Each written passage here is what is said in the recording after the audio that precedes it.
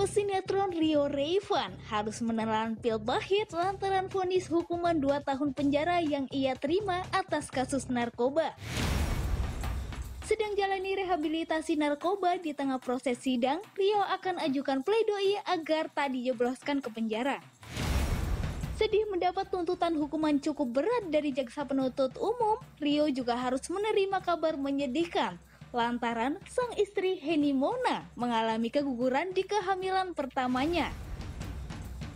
Mirisnya, Heni mengaku keguguran karena kondisi badan kelelahan harus bekerja sendiri hidupi sang suami yang sedang tersandung kasus hukum. Tak ingin suaminya dihukum berat, Heni yang diminta konsul ke psikiater itu berharap Rio direhab penuh. Namun, di tengah kesedihan yang Heni rasakan, apakah benar rumah tangganya bersama Rio Revan sedang tidak harmonis? Apakah benar isu bahwa mereka akan berpisah? Saksikan klarifikasinya sesaat lagi hanya di Pagi-Pagi Pasti Happy.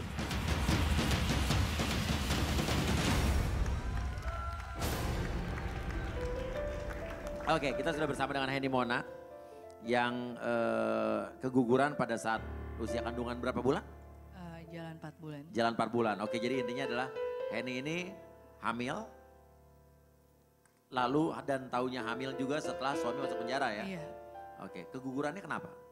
Uh, apa namanya saya kan emang kandungannya lemah gitu Iya. kan dari awal memang udah dokter juga udah bilang sama saya untuk uh, bed rest satu bulan Iya. gitu kan tapi kan saat itu kondisinya tidak memungkinkan saya untuk Iya. bed rest ya karena saya juga harus uh, ke RSKO Iya. saya juga harus ke BNNP Iya. saya harus ke Polda jadi memang uh, saya kecapean Iya, kecapean jadi. ya? ya, uh, kecapean dan uh, uh, stres lah Oke, eh, ini apa karena kamu yang sekarang jadi tulang punggung keluarga? Karena kan suami di penjara, jadi kamu kecapean karena mencari nafkah atau gimana? Eh, iya sih, iya juga sih maksudnya eh, saya kan apa-apa harus sendiri ya kak. Pas Rio ketangkep juga memang kondisi eh, kami memang lagi down banget secara materi gitu karena kami juga habis kena tipu terus eh, eh, apa namanya kafe juga tutup jadi memang harus benar-benar dari nol dan saya memang harus fight sendiri single fighter akhirnya eh, apa ya saya mulai semuanya sendiri Gimana? maksudnya saya mulainya semuanya serba sendiri gitu maksudnya saya harus eh, mengelola bisnis saya saya harus mengelola semuanya dari nol untuk eh, diri saya untuk keperluan Rio di dalam juga gitu kan kalau misalnya saya eh, besukin Rio kan saya juga harus eh, maksudnya saya harus pakai bensin pakai tol dan saya juga harus bawa makanan saya harus beli rokok kayak gitu kan Oke. Kemarin katanya Rio sempat sakit. iya Sakit apa? eh, gejala tipes memang kemarin kan pas apa ya pas kebanjiran di sana juga banjir Di sedang LP-nya banjir. Iya. Ya Allah LP-nya banjir sedang Terus sempat dirawat di rumah sakit nggak? Di sana rumah sakit. Eh, enggak sih enggak sempat dirawat di rumah sakit cuman ha, cek lab cek lab itu bawa dari luar memang enggak ada dari negara kan jadi memang cek lab semuanya gejala tipes terus juga pancaroba jadi yang Dikasih obat aja. ah, ah, dikasih obat aja Tapi kalau untuk status hukumnya Rio untuk sekarang ini gimana? Eh, status hukumnya masih terus berjalan. Eh, kemarin kan rentut, rentutnya dua tahun dan Apa ha- itu rentut? eh, rencana tuntutan kak, Oke, berapa rencana tuntutan? dua tahun. Dua tahun. Heeh. Dua tahun tapi eh, masuk kan, nggak rehab tapi eh, saya masih maksimalin untuk rehab kan kemarin juga pledoi, hari ini juga replik dari jaksanya. Terakhir sidang kapan sih? Belum, belum, belum, belum sidang, belum sidang, sidang. Eh, hari ini sidang replik dari eh, jaksa. Oke. Oke. Kamu kan dulu sempat berpikir untuk berpisah Iya. dengan Rio. Sekarang, di masa sekarang ini, hati kamu tetap ingin berpisah atau tetap ingin menjalani pernikahan kamu dengan Rio Revan? Eh, kalau saya kan sebagai istri saya niat nikah sama Rio kan ibadah ya kak ya. Eh, menurut saya pernikahan itu kan sakral. Jadi saya mencoba untuk berbakti sama suami saya juga ingin tetap mempertahankan supaya Rio mudah-mudahan dapat hidayah, dapat mukjizat dari Allah. Yakin dia akan taubat 100%? Eh, insya Allah karena saya bilang yakin pun waktu yang kasus kedua saya udah meyakinkan semuanya gitu kan semua orang eh, tapi ternyata, Ternyata? kayak begini gitu cuman Allah aja sih yang tahu Jadi total Rio Revan udah berapa kali masuk penjara jadi? Eh, tiga Tiga kali. Oke, dengan kasus yang sama ya? iya Tapi papi Mr. Kepo punya artikel nih, katanya kemarin kalau sempat mau pisah ya sama Rio Revan. Kita lihat artikelnya berikut ini, check it out. Orang tua minta Henny Mona tinggalkan Rio Revan. Seperti Mak. apa orang tua kemarin? Meminta Orang tua maksudnya kamu. seperti apa? Eh, kalau saya pikir sih manusiawi ya kalau misalnya orang tua saya kecewa, saya kecewa, keluarga besar saya kecewa itu manusiawi ya dengan kesalahan Rio yang cukup eh, berat ya gitu kan. Eh, waktu yang kasus kedua kan itu memang berat banget ya. Eh, keluarga saya juga menerima Rio gitu, dengan kasus yang sama dan narapidana tapi mengulangi kesalahan yang sama menurut saya sih kalau orang tua saya seperti itu wajar aja Wajar. sih. Terus kamu penjelasan ke orang tua gimana? Kalau orang tua saya kan eh, balikin lagi ke saya kak gitu. Jadi apa pun keputusan saya yang terbaik buat saya eh, dan memang di keluarga saya kan alhamdulillah nggak ada yang eh, maaf gitu kawin cerai gitu. Jadi ya udah apa pun kondisinya kamu yang eh, Tahu. yang tahu kamu yang memilih Merasa. Rio gitu kan. Jadi ya kamu terima segala resikonya. Dan kamu menerima itu. Insya Allah menerima. Tapi Tuh Mbak ini rumah tangga. Tetap bertahan ya, memperjuangkan sama-sama gitu. Walaupun mungkin pasangannya lagi ada di kondisi titik terendah gitu. Tapi katanya kemarin kabarnya gara-gara kasus Rio ini, kamu dan keluarga jadi diomongin sama tetangga sekitar nggak enak. Bener apa enggak sih? Eh, kalau tetangga sekitar enggak ya karena eh, tetangga kami tuh memang masing-masing gitu dan saya juga tinggal di situ kan memang dari kecil jadi mau gimana pun itu kan bukan keluarga saya yang kena gitu hanya suami saya aja dan saya pikir juga itu bukan eh, Bukan hal- kejahatan Ya, bukan sebenarnya. penjahat, bukan maling, bukan korupsi seperti itu. Jadi saya pikir whatever lah orang mau ngomong apa gitu kan. Kalau misalnya eh, perempuan ada di posisi saya juga pasti akan dilema banget dan keluarganya juga pasti akan Iya. sama lah. ah gue juga sering diomongin sama orang-orang atau tetangga gue juga. Ngomongin ngomong. apa? Ya lu mah kan emang nyari perkara sendiri, pengen minta diomongin sama orang-orang. Iya gue disering, gue sering diomongin. Lu mah. Apa diomongin? Oh ini kayak gini-gini netizen, tetangga-tetangga. Ah, ah. Billy kok bisa ganteng gitu, itu kata Ih. gue. Itu mah Pesugihan ya? Oke, terakhir. Bisa ganteng, keren. Kalau Rio nonton, entah di Youtube nanti atau gimana, apa yang ingin kamu sampaikan sama Rio? Nah, mudah-mudahan kamu jadi eh, laki-laki yang baik, jadi imam yang baik, jangan mengulangi kesalahan yang sama. Mudah-mudahan Allah memberikan kamu hidayah, memberi- memberikan kamu mukjizat dan kamu benar-benar tobat nasuha dan insya Allah eh, saya mau umroh, saya mau berdoa di sana mudah-mudahan eh, kamu benar-benar jadi suami yang saya inginkan. Amin. Amin. Terima kasih Mbak Heni Mona. Terima kasih Mbak Heni. Dan sekali lagi peringatan Ya. buat pemirsa pagi-pagi pasti happy.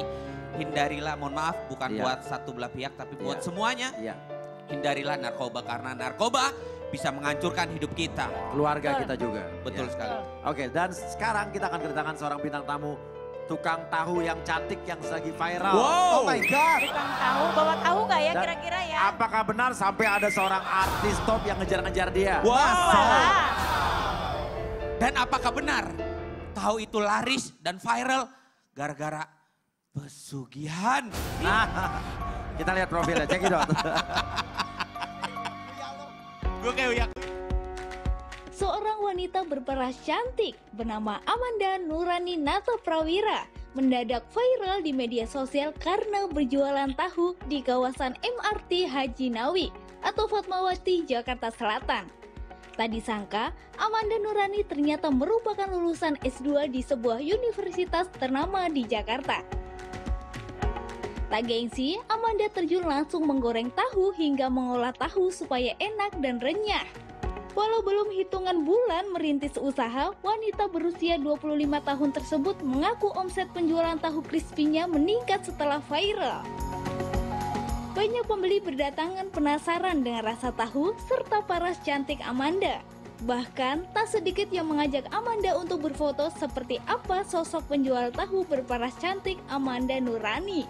Saksikan sesaat lagi hanya di Pagi-Pagi Pasti Happy.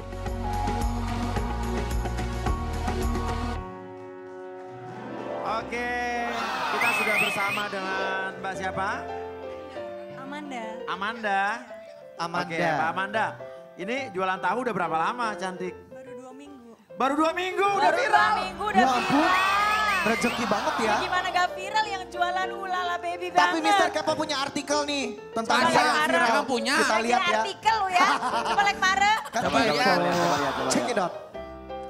Mendadak viral, penjual tahu cantik raih omset fantastis. Aduh, baru dua minggu udah fantastis loh omsetnya. berapa banyak fantastisnya? Fantastisnya biasanya kan cuma 1000 tahu. Ini sampai 4800 tahu. 4.800 tahun per hari, wow. Satu tahunya dihargain berapa? 1600. 1.600 berarti kalau 4.000 Kali 1600 berapa Bang Billy? Gak usah sosok ngitung Pasti nggak lo. bisa. Aha. Berapa itu Bang Billy? Berapa sih? Rawi. Ini dibumbuin apa sih? Tiga, tiga juta per hari berarti. Wow. Dari jualan 3 juta lebih ya. Lebih 7 juta. 7 juta lebih. 7 juta. 7 juta per hari Per dari jualan hari. tahu. Biar kamu lebih konsentrasi. Coba nih kita lihat ini, Ini- maksudnya. ini bumbunya, ini dikasih bumbu bumbu apa ya? Di sini, apaan aja? Ini ada bumbu rahasia kita. Ih, apa Bumbu rahasia, rahasia, rahasia. Kasih tahu dong sama kita. Pantesan. Ya, kayak, kayak tepung ya? Bukan tepung tapi ya? Ah, ada tapiokanya juga. Oh, Ada tapioka tapiokanya. Rahasia, Wak. Nanti kalau enggak lu bisa bikin. Tapi Nah, bener ini gak? terus Neng mau cantik. di- ini mau diapain bumbunya? Abis gitu ini bumbunya ini untuk siraman eh, saat menggoreng. Oh jadi gue tahu Oke. ini tahunya dimasukin dulu. Oh, Habis itu ditaburin kan. gitu. Kayak dulu gue dagang pisang goreng, Nek. Ya bener-bener lu jualan pisang Iya. goreng. Tapi Bang Billy mau udah nanya. kaya, udah males ya. Iya. Neng cantik bener gak kamu gara-gara jualan tahu yang sampai viral ini sampai-sampai kamu keluar dari pekerjaan kamu di perusahaan kosmetik. Bener nggak? Eh, Karena kalau- omsetnya udah wow. Kalau untuk resign dari perusahaan kosmetik sebelumnya emang keputusan saya pribadi sih. Bukan karena faktor jualan tahu. Bukan, emang Tapi lebih enakan kerja di perusahaan kosmetik atau jualan tahu?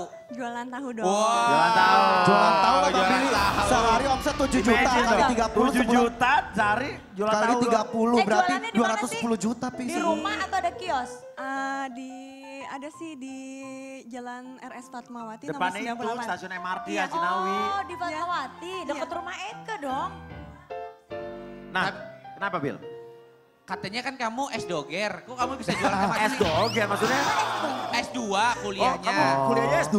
Iya, S2 terus jualan tahu? iya. Jurusannya apa? Bisnis manajemen. Bisnis manajemen lain. Nyambung Apa? lah. Nyambung. Iya. Dia mau membangun bisnisnya. Betul. Oke, dari Hebat, jualan hebat, tahu hebat. siapa tahu nanti bisa impor atau ekspor tahu keluar Betul, ya kan? betul. Eh papi tapi penasaran dulu kan kerjanya di tempat kosmetik. Kenapa nggak jadi beauty vlogger aja kayak Tasya Farasya gitu kan duitnya juga banyak. Ah, Gak pernah kepikiran. enggak sih. Kita, ah, aku pengen mencoba bisnis F&B gitu. Oh emang food Dulu and beverage. waktu- Bisnis, bisnis. Eh, Lu waktu makan. bulan puasa Gila-gila. kemarin. Ini vlogger aja lu. Iya duitnya juga influencer. banyak mami. Kenapa nggak? puasa? Bulan puasa kemarin, siapa neng namanya? Manda. Manda. Waktu itu Iya, kerja bareng sama Bang Billy. Iya. Oh ya? Kerja apa? Bang Billy. Bang Bil? Billy. Waktu itu Hah? Acara sahur di TV Oh sebelah. ini jadi ini apa namanya modelnya. Iya, ya modelnya. Oke, nah Oh, sekarang nih oke. resepnya kamu sendiri apa dari orang lain, orang tua? Ada pusatnya. Ada pusatnya. Oke, jadi ini nggak dikasih tahu nih cairannya apa nih? Bumbunya. Bumbunya bumbu rahasia gitu sih mas dari Yang membuat siapa. Neng? Takut gua buat dia. Yang membuat siapa kamu atau mama? Pusat. Pusat, pusat. Iya. Oh franchise? Iya ini franchise. Yeah. Mohon maaf, mohon maaf Hosos ngajak ngobrol terus kapan gorengnya. Coba iya, goreng, goreng, goreng, goreng, panas, udah panas. Udah, udah panas ini. Lo tau nggak? Lo itu kurang ajar sama gua. Dasar lo minyak nakal ah, lo, nakal bau lo. Biar dia panas. Ya. Nah, panas gak ada panas. Ya. Teman-teman gua kenapa ya, stres ya? Masukin. Bang Billy jangan pindah di situ aja. Eh, kita ngegoreng tahu, jangan ke mana-mana dulu. Gak masukin dulu, ceburinnya dulu, biar kita kelihatan. Ceburin dulu, ceburin dulu, ceburin dulu. Nah, Oke, sambil wow. nunggu tahunya matang jangan ke mana-mana, tetap di pagi-pagi pasti. Happy.